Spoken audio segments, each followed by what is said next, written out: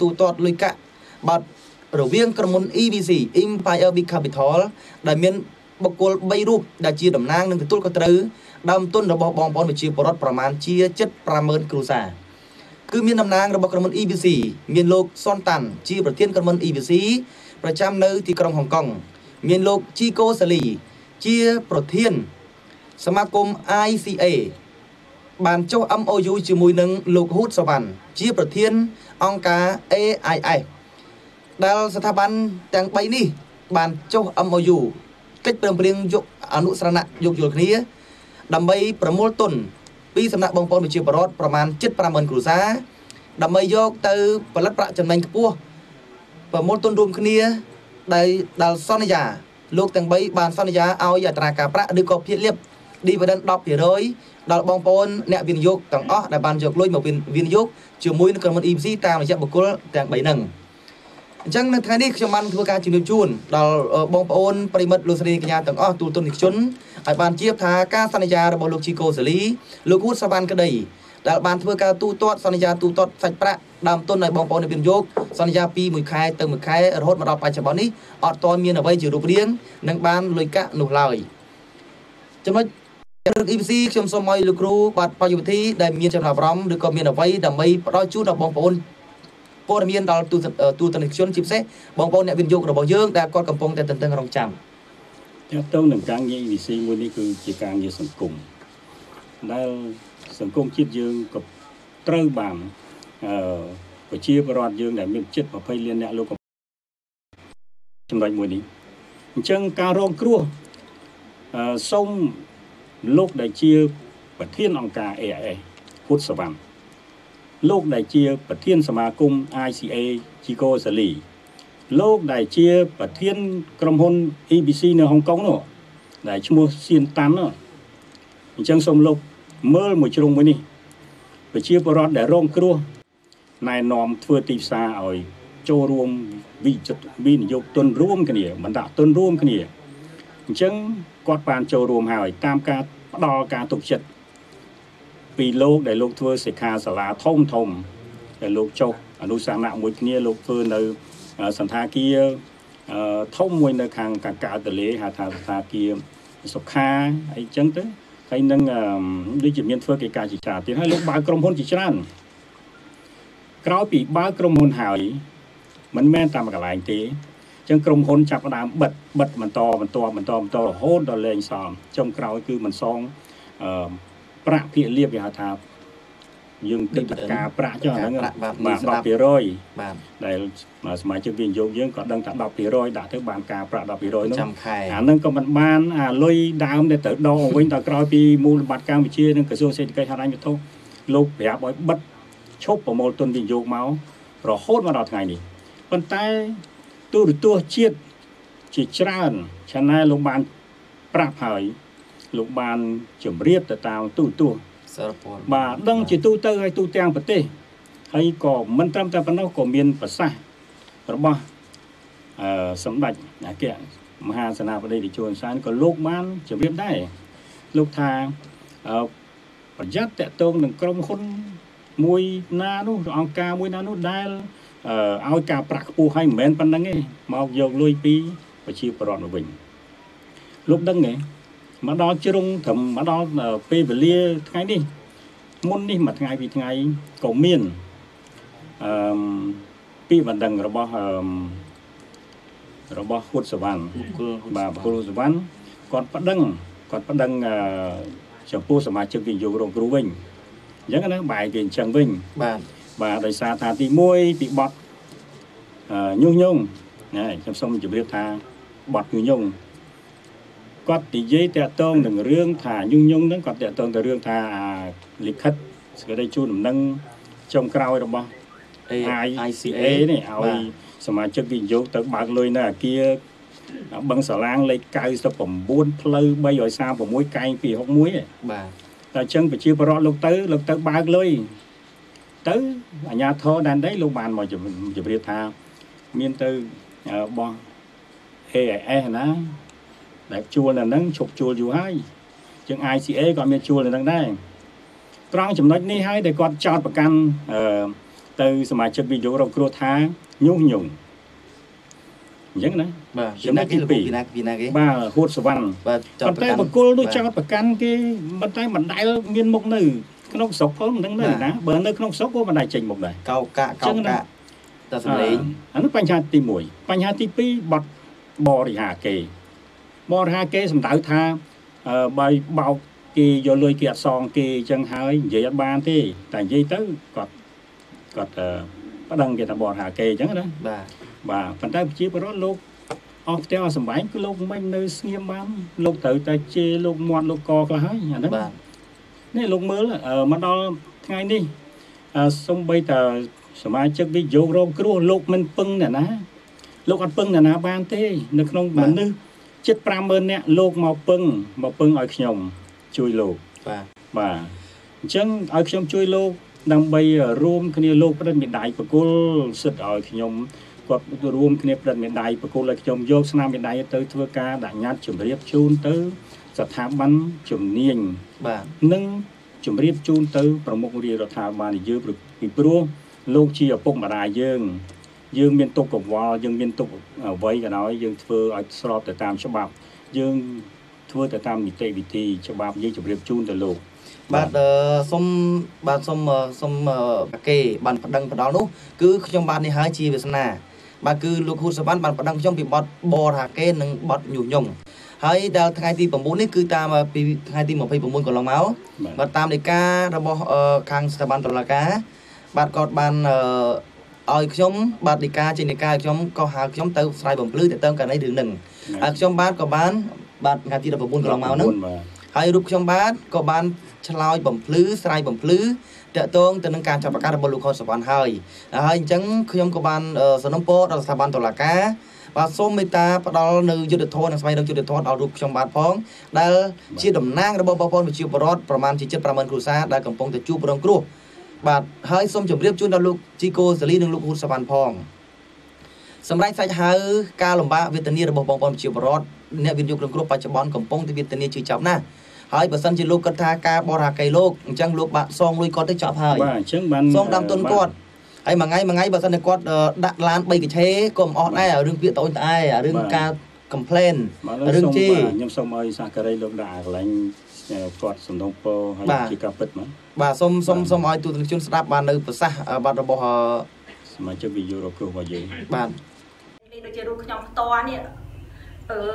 ផ្ទះសបែងដីធ្លីត្រូវធនាគារត្រូវ អឺអាដេញឯកជនគេមកអូសរឹបកាត់ម្ដងតិចម្ដងតិចដល់ថ្នាក់អស់ហើយខ្លួនក៏មានជំងឺឈឺស្កាត់ទៀតអញ្ចឹងហើយក៏សូមសំណូមពរដល់សម្ដេចតេជោហ៊ុនសែនជួយកូនជួយចៅបើសម្ដេចជួយកូនចៅស្ម័គ្រចិត្តបោះឆ្នោតជូនគណៈបកប្រជាជន ដែលជាម៉ែជាឪកូនចៅតែងតែគ្រប់គ្រងសម្ដេចមករហូតបាទកូនចៅមានក្រុមគ្រួសារកូនចៅពូជអម្បោពុំអីកូនចៅនឹងប្រម៉ែប្រម៉ោគេបោះជូនសម្ដេចទាំងអស់ ចាសូមសម្ដេចជួយកូនជួយចៅផងកូនចៅមានទុក្ខលំបាកខ្លាំងណាស់ចាចាសូមអរគុណខ្ញុំអឺសូមមានពាក្យខ្លះខ្លះសូមអឺជម្រាបទៅដល់សម្ដេចតេជោដែលជាទីគោរពនៃពួកយើងទាំងអស់គ្នាដែលពួកយើងតែងតែបានសុខពីមុនមករហូតដល់ពេលនេះណាបាទចាស់ក្រមលោកសម្ដេចហើយកូនចៅពិតជាធ្វើនឹងគិតថាធ្វើទៅនឹងវាអត់ដឹងថាខ្លួនខុសទេពីព្រោះថាដាក់សង្ឃឹមថាយើងក្រដាក់ទៅបានលុយកាក់តិចតួចនឹងចិញ្ចឹមជីវិត ហើយកូនចៅអត់មានលុបខ្លួនអីទេខ្ញុំសូមឲ្យសម្ដេចមេត្តាជួយដល់ប្រជាពលរដ្ឋទាំងអស់ដែលកំពុងរងគ្រោះព្រោះកូនចៅអត់មានទីពឹងទេមានតែសម្ដេចហ្នឹងហើយបើសិនសម្ដេចក្នុងនាមជាឪពុកឲ្យមិនជួយកូនកូនកូនអត់ដឹងថាទៅណាទៀតទេចាព្រោះកូនអត់មានក្បត់ឪទេកូនស្រឡាញ់ឪតាំងពីដើមរហូតដល់ចប់ចាតាំងពីសក់ក្បាលខ្មៅឥឡូវសក់សនៅក៏ស្រឡាញ់ឪសែនជានិច្ចបាទបាទចាបាទសូមអរគុណបាទអ៊ំត្រីបាទមានភាពរអាក់រអួលបន្តិច បាទតែគឺថាយើងមាន3 4វីដេអូទៀតជាច្រើនទៀតបាទខ្ញុំបាទតើតងបញ្ហានេះខ្ញុំសូមជម្រាបអឺជូនទៅទស្សនិកជនឲ្យបានជ្រាបអឺការរងគ្រោះរបស់អឺក្រុមហ៊ុន EBC តាមរយៈក្រុមហ៊ុន EBC ដែលហៅថាមាន ការចុះអនុសាសន៍រួមគ្នា3ស្ថាប័នអឺអង្គការ AIS និងសមាគម ICA នេះហើយនេះជាមួយ EBC នេះរងគ្រោះកំពុងតែរងគ្រោះទូទាំងប្រទេសបាទហើយត្រូវបាន ប្រជាពលរដ្ឋយើងលោកកំពុងតែមើលមើលអាការរងគ្រោះមួយនេះតាមវិស័យដែលខ្ញុំជម្រាបហើយតាមការងារអឺវិស័យ network មួយនេះបាទការងារវិនិយោគបែបអឺដែលមានហានិភ័យខ្ពស់បំផុតសូមសូមប្រជាប្រដ្ឋសូមលោកធ្វើការពិចារណាមុននឹងលោកចូលរួមធ្វើកិច្ចការងារវិនិយោគទៅលើជាមួយកិច្ចការអនឡាញទាំងអស់នេះសូមពិចារណាឲ្យមែនទែនពីព្រោះជាគំរូហើយ EBC នេះ កំពុងតែរងគ្រោះហើយរងគ្រោះពិតប្រាកដបាទហើយឥឡូវកំពុងតែនាំគ្នារួមគ្នារកយុត្តិធម៌មកវិញតាមរយៈគាត់សូមឲ្យខ្ញុំជួយអញ្ចឹងអ្នកដែលរងគ្រោះពិតប្រាកដទូទាំងប្រទេសជិត50000អ្នកនេះកំពុងតែយំស្រែកបាត់បង់បែកបាក់ក្រុមគ្រួសារបងប្អូនប្តីប្រពន្ធត្រូវខ្វះការទុកចិត្តគ្នាអាអន់ចិត្តគ្នាបាទគឺរងគ្រោះធ្ងន់ធ្ងរណាស់ ដោយសារតែកិច្ចការមួយនេះខ្ញុំពិតជាមានកិច្ចការសំខាន់មែនខ្ញុំនឹងរៀបចំប្រមូលអស់លោកទាំងអស់ដែលលោកកំពុងតែប្រគល់ស្នាមមេដៃដើម្បីជាការបញ្ជាក់ជូនភាពពិតប្រាកដជម្រាបជូនទៅឪពុកម្ដាយរបស់យើងឲ្យលោកជួយបាទនេះក៏ជាជ្រុងមួយរបស់សង្គមជាតិយើងដូច្នេះប្រជាពលរដ្ឋយើងទាំងអស់ក៏មានសិទ្ធិថារួមគ្នាជួយសង្គមជាតិយើងរួមចំណែក ជួយសង្គមជាតិយើងរួមជាមួយនឹងប្រមុខរាជរដ្ឋាភិបាលយើងដែលកំពុងលោកកំពុងអភិវឌ្ឍលើគ្រប់វិស័យទាំងអស់អញ្ចឹងមួយជ្រុងនេះគឺយើងតែខិតខំធ្វើដើម្បីរកយុទ្ធធម៌ជូនគាត់បាទគឺជាការពិតណាស់បងប្អូនប្រិមិត្តទូរទស្សនិកជនទាំងអស់ជាទីគោរពជាទីមេត្រីបាទរឿងរ៉ាវមួយនេះសម្រាប់បងប្អូនដែលមិនមែនជាអ្នកវិនិយោគជាមួយក្រុមហ៊ុន EVC ក៏គាត់បានដឹងឮពីការពួតផលកុហកបោកប្រាស់មិន ទទួលខុសត្រូវចំពោះការពង្វល់ដើមទុនជូនដល់ពួកបងប្អូនអ្នកវិនិយោគដែរហើយពួកគាត់ក៏សម្ដែងនៅការព្រួយបារម្ភនិងសម្ដែងនៅការក្តីកង្វល់ឈឺចាប់អាណិតដល់បងប្អូនអ្នកវិនិយោគបាត់បង់កាមួយនេះលោកគិតដូចខ្ញុំទេបាទគិតថាក្រុមហ៊ុនមួយនេះដែលក្រោយពីធ្វើសកម្មភាពហើយប្រជាពលរដ្ឋយើងរកគ្រោះមកតើមានមានអ្នកដឹងរឿងច្រើនទេបាទគឺតាមអ្វីដែលខ្ញុំបានដឹងតាមការសង្កេតមើលណាបាទបាទគឺ ច្រើនមែនទែនបាទគ្រប់ទីកន្លែងគ្រប់ទីកន្លែង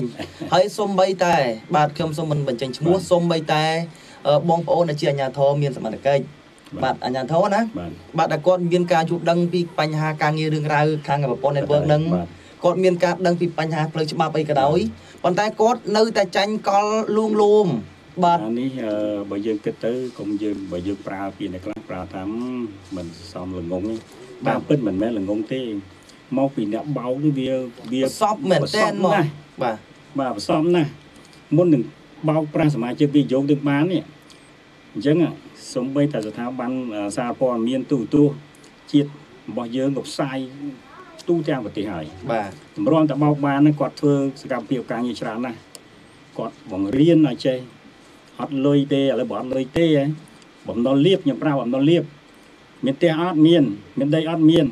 មានម៉ូតូមានឡានអត់មានណាចូលអានឹងទៅប្រចាំធនាគារទៅទុកទៅអីយកលុយនឹងមកដាក់ជាមួយ EC ទៅ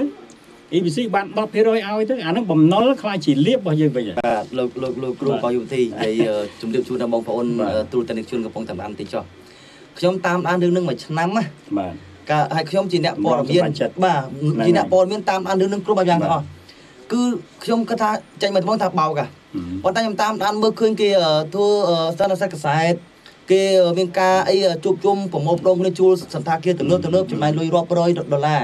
សម្រាប់ធ្វើកិច្ចការងារមួយហ្នឹងពាក់អាវទឹកខ្វ៉ាសេអាវធំធំហឺហាណាដល់ពេលហើយ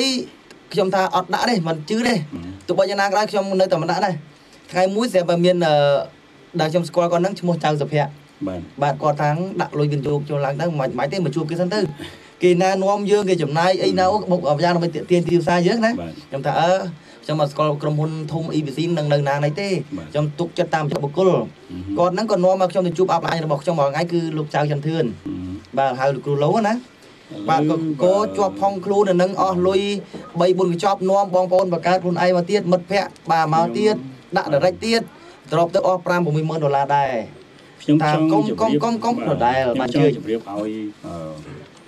បងប្អូនយើងដែលជាទស្សនិកជនផងជាសមាជិកវិយោគ កំពុងតែរងគ្រោះផងឲ្យលោកបានជ្រាបថាកិច្ចការវិនិយោគបែបសាជីវកម្មរួមគ្នានេះ ដែលកំពុងតែរងគ្រោះនេះហើយអញ្ចឹងគាត់កំពុងតែត្រូវតែដាច់ខាតទៅតែទៀមទាលុយកាក់បាត់បង់របស់គាត់ទៅវិញបាទហើយលើបើគាត់វិនិយោគតាមអ្នកណាគាត់នឹងសួរនាំចំពោះអ្នកនោះបាទគេហៅថាពាក្យថាអាប់ឡាញណាគាត់ត្រូវសួរអ្នកនោះហើយអញ្ចឹងអាប់ឡាញទាំងអស់លោកត្រូវដឹង ថាលោកណែនាំគាត់ឲ្យយកលុយទៅដាក់ដើម្បីបានចំណេញណាកាត់បន្ថយភាពក្រីក្ររបស់គាត់អញ្ចឹងលោកត្រូវតែធ្វើសកម្មភាពជួយគាត់វិញបាទនៅពេលដែលសួរក្រុមហ៊ុនមកវិញថាដើម្បីយកលុយមកសងជូនគាត់វិញនេះបញ្ហាទី1បញ្ហាទី2គឺបញ្ហាគឺតកតងនឹងបញ្ហាផ្លូវច្បាប់បាទ ពីព្រោះបើសិនជាអស់លោកអត់ជួយគាត់វិញទេ តាមផ្លូវច្បាប់អ្នកណាដែលណែនាំគាត់ឲ្យទៅដាក់លុយដាក់កាក់ឲ្យលុយឲ្យកាក់ហើយគឺគាត់ពិតជាប្តឹងតែហ្នឹងហើយបាទលោកយល់ទេបាទគាត់ពិតជាប្តឹងតែហ្នឹងហើយបាទចេះលោកគ្រូបោះយុវធីថ្មីថ្មីនេះខ្ញុំឃើញថាបងប្អូននៃវិនិយោគរងគ្រោះរបស់យើងគឺបានមកការចល័យកន្លែងធ្វើការយើងដែលជាតំណាងឧបករណ៍ហ្នឹងពីមួយថ្ងៃទៅមួយថ្ងៃជាបន្តបន្ទាប់ដូចអ្វីដែលទស្សនិកជនឃើញនៅក្នុងរូបនេះស្រាប់បាទគឺគាត់បានមកជំរាបពីតំបន់ត្អែជារៀងរាល់ថ្ងៃ ឥឡូវនេះគឺថាបញ្ហាវាកើតឡើងហើយក្រុមហ៊ុនបានបោកប្រាស់ពួកលុយប្រកបហើយមិនមានការសងលុយគាត់វិញទេអញ្ចឹងប្រកបថាតើអ្វីដើម្បីដំណោះស្រាយគឺគាត់បានមកខាងការចល័យរបស់យើងហើយមកដល់ពេលនេះលោកគ្រូអាចជម្រាបបញ្ជាក់ជូនដល់ទស្សនិកជនកំពុងតាមដានក្នុងកម្មវិធីនេះថាតើបុគ្គលណាខ្លះដែលជាអាប់ឡាញដែលកំពុងតែប្រជុំមុខដែលបងប្អូននៅវិនិយោគរងគ្រោះកំពុងតែប្រមូលផុសតាង និងស្នាមមេដៃមកឲ្យក្រុមការងារដើម្បីចោតប្រកាន់ដាក់ពាក្យបណ្ដឹងបាទលោកអាចជម្រាបជូនបានទេបាទតើអាប់ឡាញណាខ្លះដែលកំពុងបាទបាទអាប់ឡាញដែលប្រឈមនៅចំពោះមុខអឺខ្លាំងជាងគេនេះដែលគេកំពុងបដោតសំខាន់ជាងគេ គឺនៅខេត្តសៀមរាបបាទនៅខាងខេត្តសៀមរាបហើយនឹងមជ្ឈនីខាងតកែវនេះដែលក្រោមដាំសេហាយ៉ានយ៉ានហើយនៅខេត្តសៀមរាបមានមានជាច្រើនមានជាច្រើនដែលនៅក្រោមហៀបឆវ័នដែលហៀបឆវ័នរាល់ថ្ងៃនេះ គាត់បានគេឃុំឃាំងខ្លួនហើយណាបាទគេចាប់តាពន្ធនាគារហើយអញ្ចឹងមានជាច្រើនទៀតហើយលោកខ្ញុំសូមថាខ្ញុំមិនទាន់បញ្ចេញឈ្មោះលោកទេដូចជាសុំភ្ញាក់លើកឡើង on post អីអីហ្នឹងសុំភ្ញាក់លើកឡើងហ្នឹងគុំនិយាយតែមាត់ពីព្រោះលោកធ្វើការណែនាំគេច្រើនណាស់អញ្ចឹងសូមលោកបាទបាទដូចជាលោកអុកកំឈនណាជាពិសេសឡុងសម្បត្តិនេះឡុងសម្បត្តិ រាល់ថ្ងៃខ្ញុំមើលគាត់យកផុតតាំងឲ្យខ្ញុំមើលដែលមានសញ្ញានៅលើ receipt ណាគេហៅថាសាញលើលើវិក័យប័ណ្ណនេះសញ្ញាលើវិក័យប័ណ្ណមានឈ្មោះឡុងសម្បត្តិជាលោកគ្រូបាទបាទបាទអឺឡុងសម័នអា adhesive ទទួលលុយកាក់វិនិយោគហ្នឹងជួពេលខ្លះមិនឃើញដាក់ជុះតែងតែរឿងហ្នឹងហើយពាក់ព័ន្ធអត់បាទអឺរឿងនេះពិតជាមានការពាក់ព័ន្ធហើយបើតាមផុសតាំងស៊ើបអង្កេតតទៅផ្លូវច្បាប់អឺអ្នកដែលចុះហត្ថលេខាជំនួសនេះត្រូវតែពាក់ព័ន្ធ ហើយរដ្ឋបាលរដ្ឋបាលទាំងអស់ត្រូវតែពាក់ព័ន្ធណាខ្ញុំចង់និយាយថាក្នុងក្នុងជួររដ្ឋបាលពីព្រោះកិច្ចការងារមួយនេះត្រូវធ្វើគេមានរដ្ឋបាលរបស់គេចឹងរដ្ឋបាលរបស់អឺរដ្ឋបាលរបស់ជីកូសេលីរដ្ឋបាលរបស់ឡុងសម្បត្តិរដ្ឋបាលរបស់អូកំឈនរដ្ឋបាលនេះគាត់តែងតែមកសញ្ញេជួសជួសហ្នឹងហើយបាទពុទ្ធសវណ្ណនេះហ្នឹងសិតតែមកមានសញ្ញេជួសហើយមួយទៀតរឿងសំខាន់មួយទៀតដែលយើងគួរតែ គិតថាយើងផ្ដល់ភាពយុត្តិធម៌ឲ្យសមាជិកវិនិយោគរងគ្រោះទេបិទ website មកដល់ថ្ងៃនេះទិន្នន័យដែលត្រូវអឺទូទាត់គ្នាសងលុយសងកាក់តាមរយៈអនឡាញតាមរយៈ website គេហទំព័រត្រូវបានបិទទាំងស្រុងណាណាបាទបាទមើលទៅអាហេតុនេះឲ្យថាមិនសមហេតុផលទេគួរតែកុំធ្វើបែបនេះបើសិនជាមានចេតនាសងហើយលើចាប់ផ្ដើមចេញអាគេថា style របស់គាត់អឺ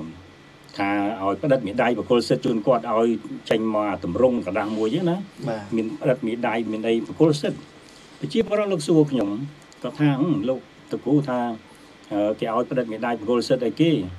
ហើយគាត់ក៏ឆ្លើយគាត់សួរឆ្លើយមកគាត់តែលោកគ្រូសំទេបើយកលុយខ្ញុំយកលុយខ្ញុំអត់ទាន់សងខ្ញុំបើខ្ញុំផ្ដិតមេដៃបកុលសិទ្ធទៅយកលុយពីអ្នកណាខ្ញុំបាត់យកពីអ្នកណាទេខ្ញុំយកពីអស់លោកនឹងហើយ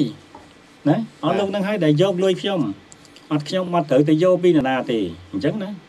ខ្ញុំមិនត្រូវទៅផ្ដិតមេដៃឲ្យលោកទៅយកនៅហុងកុងទៅយកនៅ EBC ណាគាត់អត់ដឹងទេគាត់ដឹងថាដាក់លុយតាម AS យកតាម PAS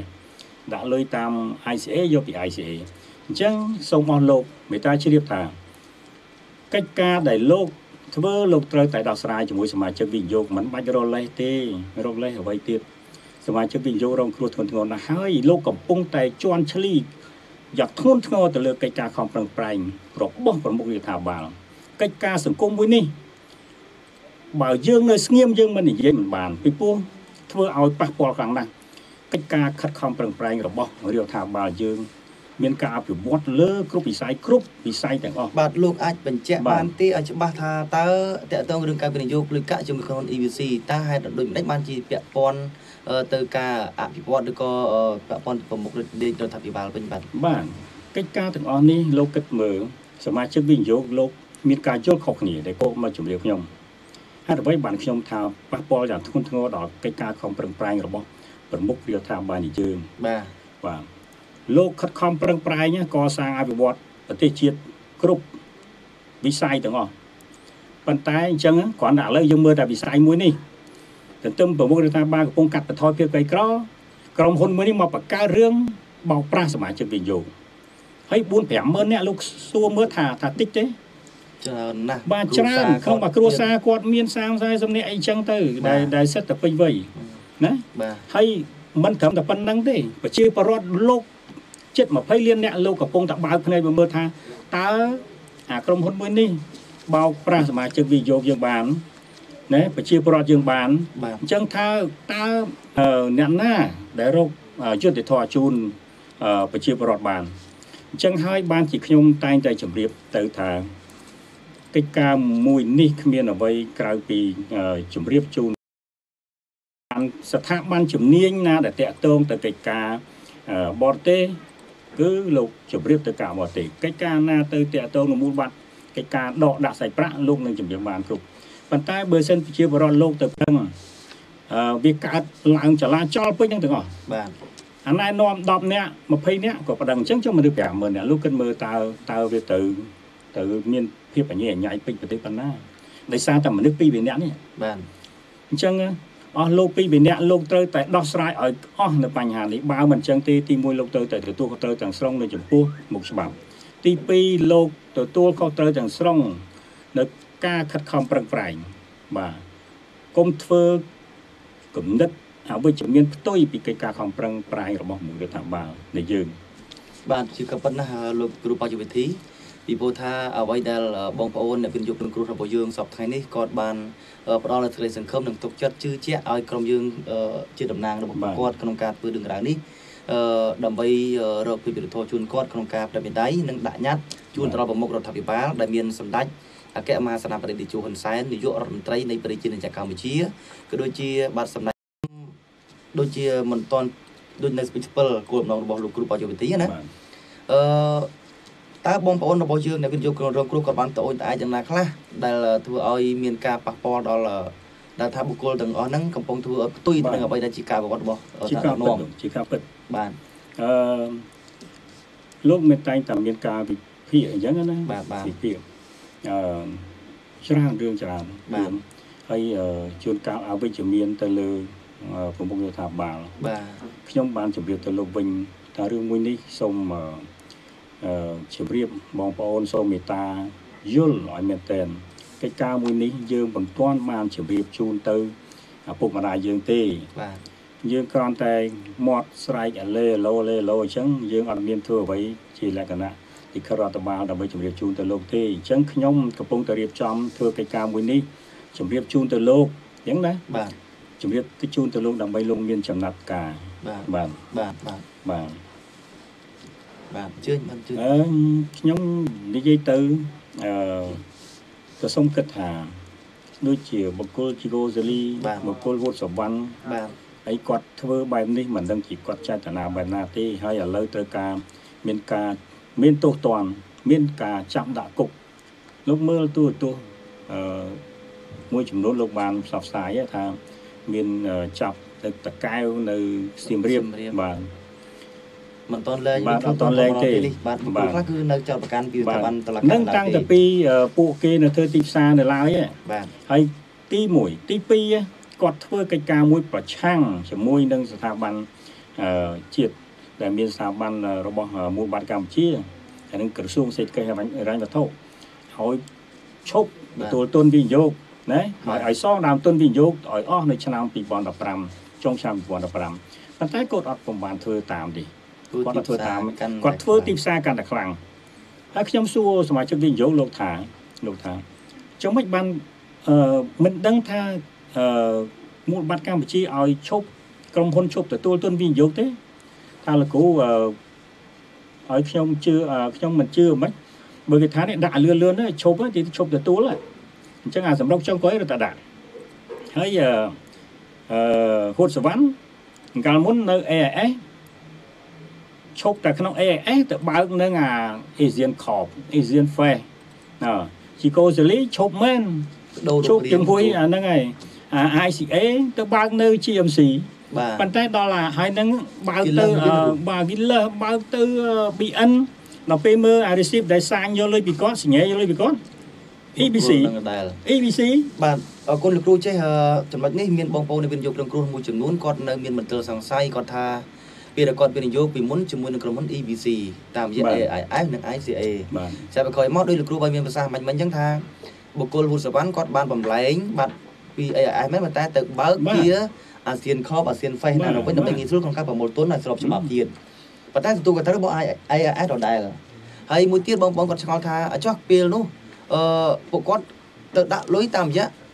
អឺ GMC និង Killer បាទប៉ុន្តែសញ្ញារដ្ឋបាលអ្នកទទួលខុសត្រូវគឺខាង ICA ដដែលថាបានខ្ញុំ EMC ដដែលបាទខ្ញុំតើគាត់សួរថាអញ្ចឹងលោកគ្រូសួរថា ចុះដល់ពេលទូទាត់លុយកាក់វិញគាត់អឺសំឡងលុយណាគេទូកត្រូវហ្នឹង GMC អត់ឬថាអត់អាចនិយាយជា GMC សោះលោកដឹងថាបាទលោកអត់ទាន់ដឹងជ្រុងមួយលោកនិយាយទាំងអស់បាទខ្ញុំនិយាយថា system របស់វានៅក្នុងគេនៅក្នុង website ហ្នឹងណាបាទវានៅតែ EBC ខ្ញុំចង់និយាយអញ្ចឹងបាទវា EBC system នេះ EBC ដដែលបាទទូទូអឺទូទាត់លុយតាម Empire Big Capital ដដែលអញ្ចឹងបាទណាអញ្ចឹងស្ទប់បីដូរទៅឯណាក៏ដោយព្រោះដោយសារបកគល ទាំង3នាក់ហ្នឹងវាអឺគេគេគេគេជួញ venture មួយគ្នាបាននេះគេចុះអនុសន្និមួយគ្នាបាទ MU មួយគ្នាអញ្ចឹងគេត្រូវតែទទួលខុសត្រូវបាទទោះបីគេចេញតាណាក៏ដោយគេមើលតែក្នុង receipt តែក្នុង receipt BBC គឺនៅក្នុងរចនាសម្ព័ន្ធហ្នឹងហើយអញ្ចឹងណាបាទនៅក្នុង board អឺ director របស់គេព្រោះគេបែងចែកនៅក្នុងអា company profile គេគេថាអឺហើយលោកលោកត្រូវយល់ជ្រុងមួយបាទធ្វើកិច្ចការអ្វីក៏ដោយ លោកជិះឡានក៏ដោយលោកត្រូវបងពុនផ្លូវបងពុនអឺសពបែបយ៉ាងចាក់សាំងក៏បងពុន10%ដែរចុះបើក្រុមហ៊ុនមួយហ៎អត់មានច្បាប់ដល់ទៅសោះតើបានអឺបានបានបងពុនជូនរដ្ឋទេ បានធ្វើអារបាយការណ៍ហិរញ្ញវត្ថុអឺជម្រាបជូនទៅខាងពុនដាទេ បានដើម្បីបំពេញកាតព្វកិច្ចខ្លួនទៅបងពុនទេអត់ទាំងអស់អញ្ចឹងណាណា មិនបងពុនជូនរដ្ឋហើយមិនសងអត់ស្របច្បាប្រាប់ក់បាទទុនវិនិយោគបាទមកសមាជិកវិនិយោគវិញនឹងហើយដែលជាជ្រុងនៃសង្គមបាទជ្រុងរបស់សង្គមគ្រប់រឿងរ៉ាវនៅក្នុងប្រទេសកម្ពុជាយើងយើងមិនមែននិយាយដើម្បីបន្តោសបន្អាប់យើងនិយាយដើម្បីឲ្យមានការកែលម្អដើម្បីរួមចំណាយគ្នាជ្រុងណាមួយដែលមានចំណុចខ្វះខាតដូចជ្រុង EBC នេះចឹងដូចជ្រុងដតីទៀតចឹងដែលខ្ញុំលើកមកនៅក្នុងកម្មវិធីអឺសង្គមនេះ គឺយើងចង់និយាយឲ្យមានការកែកែលម្អរួមគ្នាធ្វើឡើងរួមគ្នាឡើងជាមួយគុំដល់ពេលបានយើងធ្វើយើងចាប់ផ្ដើមធ្វើទៅបណ្ដាបណ្ដាពីព្រោះអឺក្រសួងជំនាញស្ថាប័នជំនាញអឺអាជ្ញាធរដែនដីចូលរួមធ្វើទាំងអស់គ្នាអញ្ចឹងកិច្ចការ EBC ក៏អញ្ចឹងដែរប្រជាពលរដ្ឋទាំងអស់ដែលនៅតាមមូលដ្ឋានភូមិឃុំកំពុងតែរងគ្រោះអញ្ចឹងណាសូមលោកមេត្តាជួយពួកគាត់នៅពេលដែលពួកគាត់អឺធ្វើការប្រឹងផ្ដល់ជំរាបជូនទៅដល់លោកនៅតាមអឺអឺ ប៉ុស្តិ៍រដ្ឋបាលនៅតាមបណ្ដាខេត្តឬអឺដែលនៅឆ្ងាយឆ្ងាយដែលគាត់អឺពុំយល់ពីផ្នែកច្បាប់សូមលោកមេត្តាជួយជម្រាបជូនជូនគាត់ហើយនឹងឲ្យជួយអឺធ្វើយ៉ាងណាឲ្យគាត់បានអឺយល់ពីបញ្ហាថាតើគួរធ្វើបែបណាដាក់ពាក្យបណ្ដឹងបែបណាចំពោះបុគ្គលបែបណាដែលគួរធ្វើឲ្យមានផតតាងឬទេពីព្រោះជឿវៀងថាគាត់ប្តឹងទៅអឺពេលខ្លះគាត់មានតែក្នុងអឺនៅក្នុងគេហៅថា ប្រព័ន្ធអឺគេហទំព័រទេដល់អញ្ចឹងដល់អានឹងគេបិទទាំងស្រុងហើយគេបិទគេកុហកគេបិទមកដល់ថ្ងៃនេះតាំងពីខែ2មកហើយអញ្ចឹងគាត់អត់មានអីទេបាទអរគុណណាស់លោកគ្រូបាយុវិធីបាទបាទសូមអឺជំរាបទៀតបាទពីព្រោះរឿងនេះអឺសូមពេលវេលាបន្តិចទៀតចុះពីព្រោះបាទថារឿងរ៉ាវរបស់ដំណើរការរបស់ក្រុមហ៊ុន EBC នេះកំពុងតែល្បីខ្ទោខ្ទានៅក្នុងប្រទេសជាតិកម្ពុជារបស់យើងបាទល្បីជាពិសេសគឺបាទបងប្អូនប្រជាពលរដ្ឋកំពុងតែវេទនាក៏ច្រើនដែរនៅតែចាញ់បោកលុយកាក់ហ្នឹងណា ចំណុចមួយទៀតអញ្ចឹងលោកគ្រូអឺខ្ញុំមើលតាមរយៈការ comment comment នៅក្នុង Facebook អឺ Facebook account របស់ខ្ញុំបាទនិង comment នៅក្នុង group បណ្ដា group ដែលបងប្អូននិវិនយកទាំងអស់ហ្នឹងគាត់បានអឺ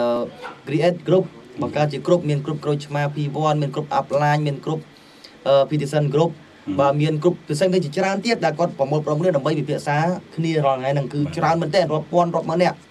ហើយគាត់តែងតែលើកឡើងសំណពរឲ្យយើងខ្ញុំទាំងពីរនាក់ដើម្បីផ្ញើជាសម្លេង ជាពិសេសហ្នឹងឲ្យលឺជ្រួតជាបដល់លោកជីកូសេរីនិងលោកហ៊ូតសវណ្ណក៏ជាលោកសេនតានដែរគាត់សូមបញ្ជាក់ថាប្រសិនបើបុគ្គលទាំង3ពិតជាបុគ្គលដែលស្អាតស្អំបុគ្គលដែលមានការទទួលខុសត្រូវក្នុងការបង្វិលនៅសាច់ប្រាក់ជូនដល់បងប្អូនអ្នកវិនិយោគវិញគាត់សូមឲ្យបុគ្គលទាំង3នេះមកបើកសន្និសីទកសែតចរចាជួបជាមួយនឹងពួកយើងខ្ញុំនេះជាតំណាងរបស់ពួកគាត់គាត់ថាឲ្យសូមមកជួបមកជួបបើកជាលក្ខណៈទូលំទូលាយដូចពេលដែលគាត់បើកសាខាសាលាដំបូងក្នុងការប្រមូលទុនលុយកសិករអញ្ចឹង តើចំណុចនេះលោកគ្រូអាចយល់ថាតើបុគ្គលទាំង3គាត់មានឆន្ទៈនៅក្នុងការធ្វើកិច្ចការងារនេះដែរឬទេហើយបើសិនជាគាត់ពិតជាមានឆន្ទៈក្នុងការធ្វើបែបនេះមែនតើគាត់មានការព្រួយបារម្ភឬក៏ហេតុអ្វីបានគាត់មិនចេញមុខស្រីតែសម្លេងហើយមិនដឹងរូបនៅឯណាកិច្ចការអ្វីក៏ដោយយើងធ្វើកិច្ចការឲ្យគេចូលរួមជាមួយយើងបាទឲ្យគេមានភាពជឿជាក់ជាមួយយើងបាទអញ្ចឹងយើងត្រូវតែធ្វើកិច្ចការបំរើឲ្យសំណុំពររបស់គេវិញបាទ គាត់ត្រូវការជួបមុខយើង នៅពេលដែលយើងយកលុយពីគាត់យើងទៅយកកន្លែងណាគាត់នៅតាណាក៏ទៅយកដែរអញ្ចឹងណាបាទអញ្ចឹងឥឡូវសមាជិកវិនិយោគជិត50000នាក់គាត់រងគ្រោះហើយគាត់សំណងពោឲ្យមានការបង្ហាញមុខបើកទីសហការមកហើយហូតសវណ្ណជីកូសេលីហើយនឹងរដ្ឋបាលទាំងអស់ដែលអង្កើអង្គុយធ្វើការយកលុយពីគាត់ហ្នឹងមកធ្វើការណាគាត់បានហ្នឹងហើយឡុងសម្បត្តិតេសរឿនអូបជុនហ្នឹងមកមកហើយគាត់បានទៅសួរព័ត៌មានផង សូម្បីតែទូរស័ព្ទក៏លែងលើកលែងចូលណាលែងលើកលែងចូលទាំងអស់ហើយសួរថាគាត់ស្ងប់ចិត្តទេបាទគាត់មិនបានស្ងប់ចិត្តទេបាទហើយអាហ្នឹងគាត់អាចនិយាយថាម៉េចឥឡូវបើបើបើសិនជាខលមិនចូលយកលុយទៅគាត់មកមួយឆ្នាំហើយគាត់គាត់និយាយថាម៉េចអាហ្នឹងគឺជាការបោកប្រាស់ហើយដំបងលោកហៅគេឲ្យចូលរួមគ្រាន់តែបំណងឯងប៉ុនប៉ងឯង ប៉ុនប៉ងនឹងបោកឯណាដល់ឥឡូវវាចូលថាលោកខកខានមួយឆ្នាំហើយលោកអត់ចេញមុខដោះស្រាយអាហ្នឹងលោកបានសម្រេចហើយបានន័យថាហ្នឹងបើនិយាយពីបទល្មើសចោតប្រកាន់ជាបទល្មើសឆបោកណាបាទអត់មានអ្វីយ៉ាងអញ្ចឹងដើម្បីលៀងខ្លួនកុំឲ្យគេចោទថាយើងជាជនឆបោកដើម្បីរួចខ្លួនពីការទទួលខុសត្រូវនៅចំពោះមុខច្បាប់លោកចេញមុខមកជួបពិភាក្សាគ្នាជម្រាបជូនទៅ សមាជិកវិយោគឲ្យលោកបានដឹងគ្រប់ជើងជ្រោយកុំមកសំបីតែលិខិតមួយខ្ញុំសូមលើកទៅលិខិតមួយដែលថាហ៊ុតសវណ្ណមកឲ្យឡុងសម្បត្តិនេះនិយាយឲ្យលិខិតហ្នឹងអត់មានក្បាលមានកតុយទេអត់មានបែបបត់បាទមិនមែនជាលិខិតរដ្ឋបាលទេបាទអឺសំបីតទីស្នាក់ការនៅតាណាសំបីតវាយត្រាការទទួលខុសត្រូវសំបីតជួបដើម្បីបកគលជូនលិខិតអឺទាំងអស់ជូនពួកគាត់ជាសមាជិកវិយោគអត់ដែរណាអត់ទេ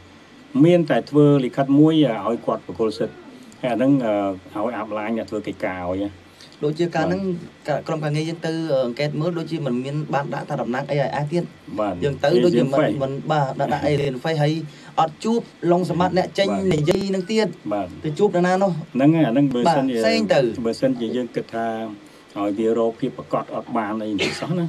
អត់តតែសោះបាទចេះទូទៅនិកជនគឺថាគាត់បត់បែន flexibility គឺថា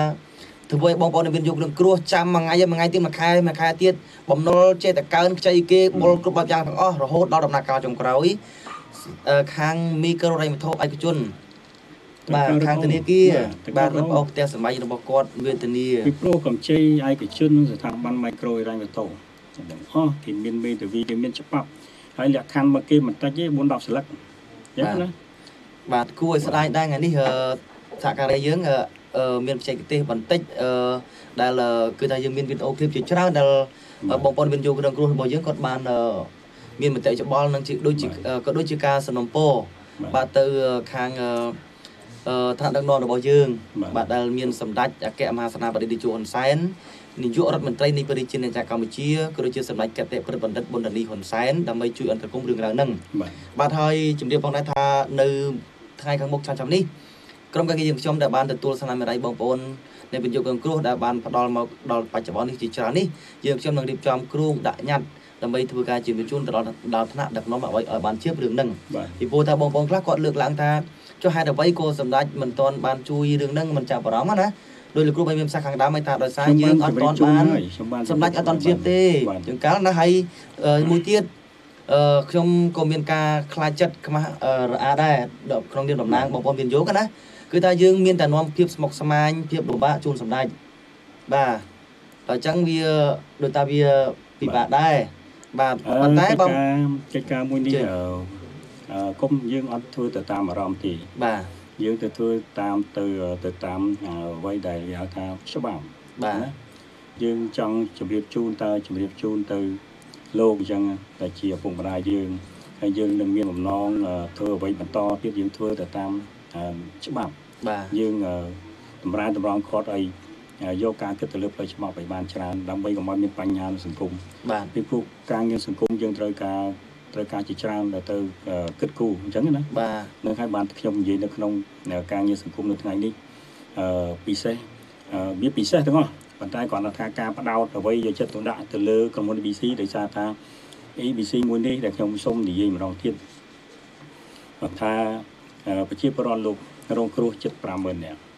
អញ្ចឹងក្នុងមួយគ្រួសារមួយគ្រួសារអឺ5មាន6នាក់បាទមិនទេមិនតិចទេលោកច្រើនក្នុងគ្រួសារផ្ទាល់របស់គាត់ប៉ុន្តែនោះអាសាច់ឈាមរបស់គាត់អីជីរូនជីតាគាត់នោះស្រឡឹងមើលគាត់ទៅមើលអា EVC ហ្នឹងឯងចាញ់បោកហ្មិចអញ្ចឹងណាគាត់ស្រឡឹងមើលអញ្ចឹងហើយគាត់ចេះតែគិតដែរគេគិតតាមអ្វីដែលគាត់គិតដែរប៉ុន្តែខ្ញុំសូមជម្រាបជូនលោកត្រង់ជ្រុងនេះអឺកិច្ចការមួយនេះអឺ គោលបំណងយើងពិតជាធ្វើកិច្ចការមួយនេះជម្រាបជូនទៅឪពុកម្ដាយយើងពិតប្រាកដមែនឲ្យលោកជួយឲ្យលោកពិតជាជួយយើងអញ្ចឹងលោកកុំគិតអឺអស់លោកដែលជាអ្នកវិនិយោគរងគ្រោះកុំតន់ដល់គិតដល់រឿងគាត់អីកុំមិនអអល់ល់បាទបាទបាទពីព្រោះលោកធ្វើកិច្ចការជាច្រើនណាស់លោកកំពុងជួយកិច្ចការសង្គមជាច្រើនគុមិនណច្រើនណាស់មែនតែរឿង ABC មួយទេបាទរឿងជាច្រើននៃការអភិវឌ្ឍប្រទេសជាតិលោកកំពុងតែធ្វើឲ្យធ្វើអត់ឈប់ឈរលោកមិនមែនបានគ្រាន់តែថាទេសម្រាប់អឺ អគ្គមហាសេនាបតីជួនសែនលោកធ្វើលោកធ្វើលោកកសាងប្រទេសតាំងពីអឺបាត់ដៃទៅទេលោកគិតមើលមកដល់ជ្រុងបច្ចុប្បន្នដែលមានសុខសន្តិភាពពេញទូទាំងផ្ទៃប្រទេសបាទអញ្ចឹងបាទអរគុណណាស់អឺលោកគ្រូបយុវធីបាទទូរទស្សនិកជនជាទីគោរពនិងជាទីមេត្រីបាទឃើញថាពេលវេលានៃកម្មវិធីរបស់យើងក៏កាន់តែគិបាទដល់ទីបញ្ចប់ទៅហើយដែរហើយសូមជម្រាបផងដែរថានៅក្នុងកម្មវិធីព្រឹត្តិការណ៍សង្គមរបស់ TNM News Center នេះ យើងនឹងមានផ្ដល់ជូនបាទនៅរឿងរ៉ាវព្រឹត្តិការណ៍ព័ត៌មានសំខាន់សំខាន់ជារឿងព័ត៌មានពិតប្រកប Hot News បាទដែលកើតឡើងនៅក្នុងសង្គមរបស់យើងជារៀងរាល់សប្តាហ៍ថ្ងៃសុក្របាទវេលាម៉ោង10ដល់ម៉ោង11បាទអញ្ចឹងសូមបងប្អូនទ្រូទនិកជនតាមបានទេសនាជាចុងក្រោយបាទជាចុងក្រោយអ្វីជាការលើកឡើងនិងជាការ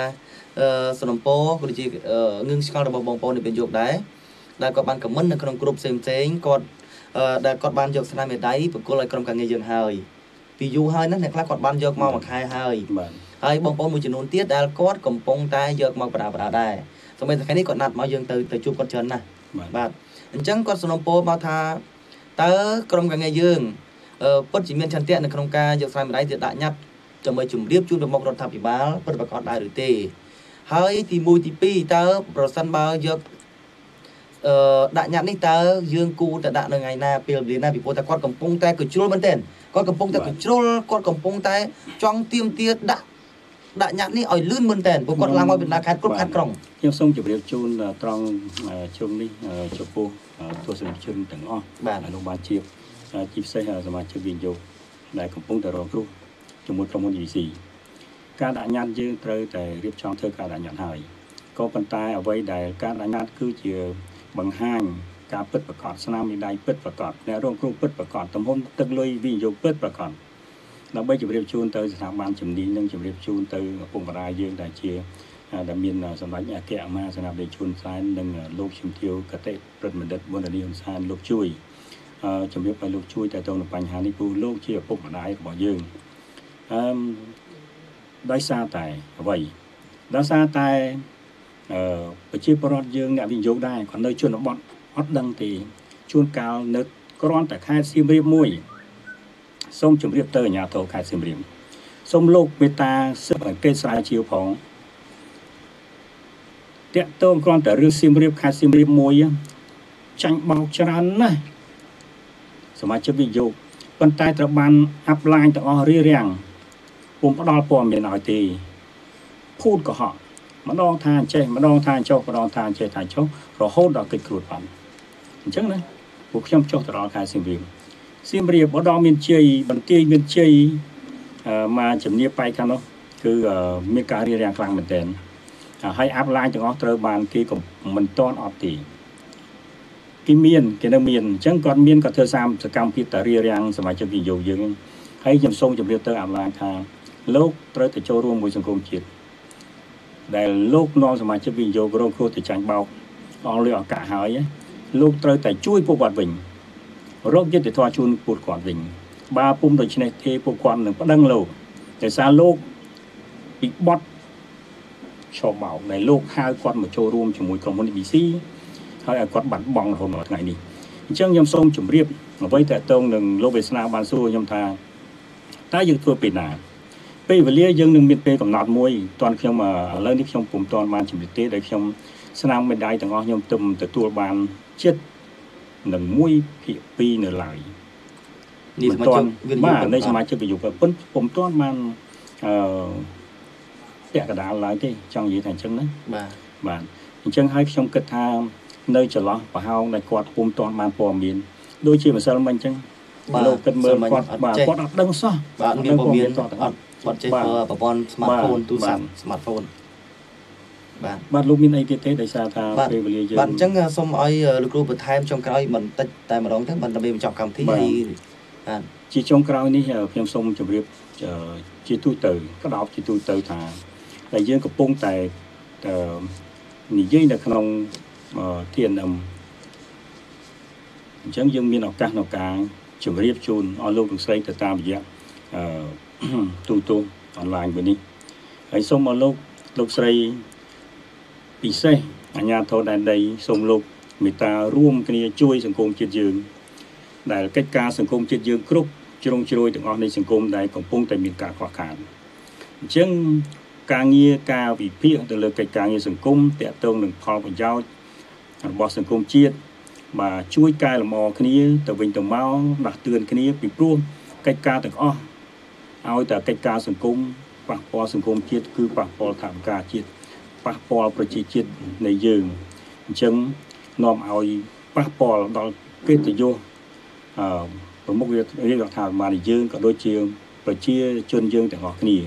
ដែលបើសិនមួយជ្រុងណាក៏ដោយមានបញ្ហា គឺជាជ្រុងគ្រប់មុំរបស់សង្គមចឹងហើយជ្រុងណាដែលមានបញ្ហាយើងរួមគ្នាដោះស្រាយរួមគ្នាគិតរួមគ្នាធ្វើរួមនួរួមគ្នាអឺជម្រាបជូនទៅស្ថាប័នជាតិដើម្បីឲ្យស្ថាប័នជាតិជួយដោះស្រាយ នៅជ្រុងដែលអវិជ្ជមានបាទអរគុណណាស់ខ្ញុំបាទវាសនាក៏សូមថ្លែងអរគុណដល់សម្ដេចទ្រង់អាដាមលោកជំទាវលោកលោកស្រីទូរទស្សនិកជនទាំងអស់ដែលលោកតែងតែយកចិត្តទុកដាក់ក្នុងការចំណាយពេលវេលាដ៏មានតម្លៃក្នុងការចូលរួមតាមដានទស្សនានិងរាល់នៅព័ត៌មាន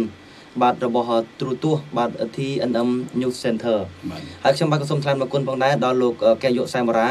ដែលបានផ្ដល់ឱកាសឲ្យយើងខ្ញុំទាំងពីរនាក់បានផ្ដល់នឹងជម្រាបជូននៅព័ត៌មានតាក់ទងទៅនឹងដំណើរការនៃការទូតតលិការបស់ក្រុមហ៊ុន EVC បាទដែលមិនទាន់បានផ្ដល់ជូនដល់បងប្អូនវិនិយោគរងគ្រោះតាំងពីដើមរហូតដល់បច្ចុប្បន្ននេះបាទទាន់បានវិសេសទេអញ្ចឹងធ្វើឲ្យបងប្អូនវិនិយោគដែលកំពុងតែតាមដានហ្នឹងគាត់មានឱកាសក្នុងការទទួលបានព័ត៌មានតាមរយៈបាទ TNM News Center នេះផងដែរហើយ